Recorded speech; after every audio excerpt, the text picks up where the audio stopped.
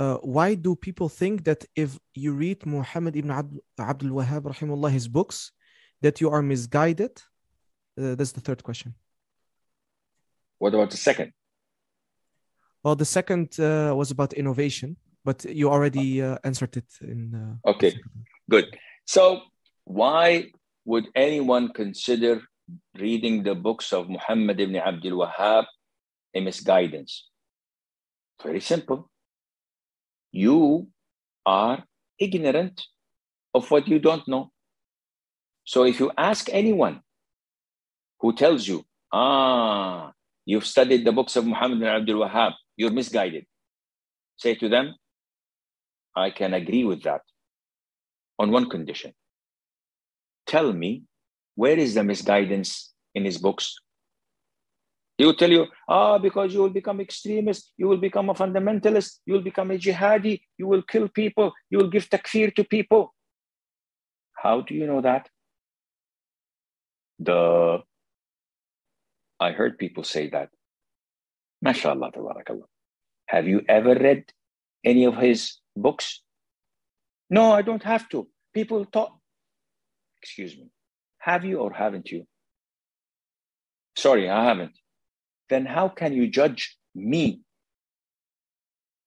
who have read his books, learned a lot of them, just based on what people say? This is total ignorance. So you don't have to respond to ignorant people. When people come and say to your face, and by the way, they came, they used to come to me and say this a lot, especially haters. When they say, Oh, Sheikh Assim, you're an ass. Should I be angry? No. I say, I say to them, True, this is my name, as I am. This is how they spell my name, as I am. So when people come and say, You're an ass, does this mean I'm going to grow two ears and a tail? Let them say whatever they want. Good people say good words, bad people say bad words. I'm not going to be affected by that.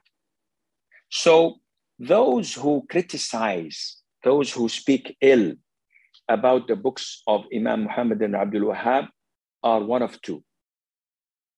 Either a deviant Shia or a deviant Sufi. There's no third. Why? Because the books of Muhammad ibn Abdul Wahhab speak about Aqidah, about returning people to Sunnah, about purifying our beliefs from innovations. And this is what the Shia and the Sufis thrive on. This is how they live. And they cannot keep their congregation, their followers, they cannot use them and buy them and utilize what they have if they started to read the books of Muhammad ibn Abdul Wahhab, which basically are Quran and Sunnah with the understanding of the Salaf.